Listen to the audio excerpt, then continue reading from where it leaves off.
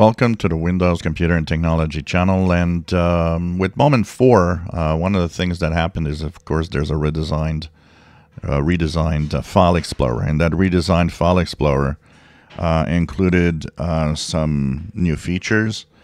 And, of course, there was a lot. If you look at the list in the feedback hub of what people are asking uh, to change or have new in the and the um, moment four File Explorer, um, pretty much everything that people asked was ignored.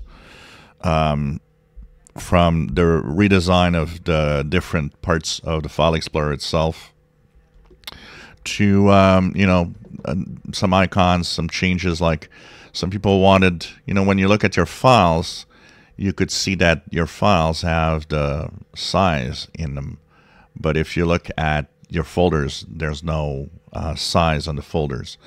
That was one of the biggest demands.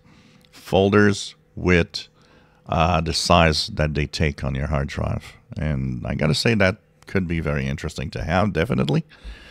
But nope, nothing like that is actually happening. Um,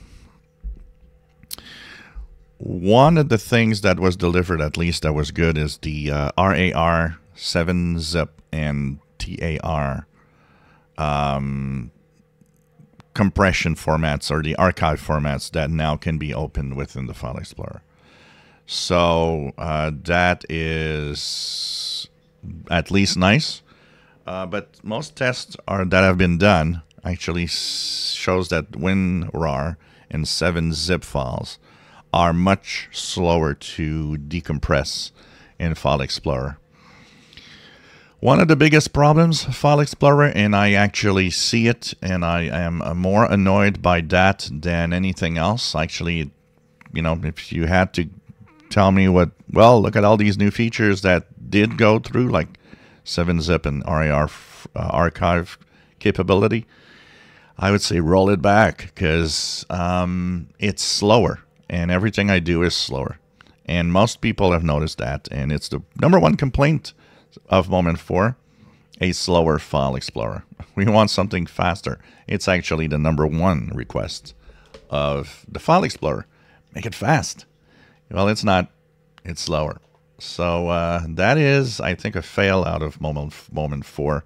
We've said it many times that um, the file explorer needs to be uh, completely redone. This thing needs to change. Uh, and it needs to change in the way that it actually um, looks at files and searches for files, and because it's dreadfully slow, and it we really need something new. So uh, on moment four, if I had to say there's a fail, um, the File Explorer is one of them. If you enjoy my videos, please subscribe, give us thumbs up. Thank you for watching.